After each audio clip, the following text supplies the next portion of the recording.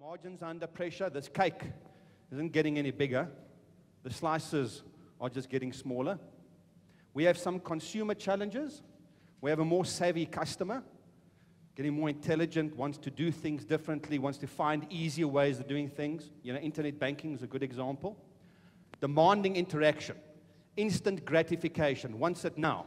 Not good enough anymore for you to take two days before you send a quote to your customer.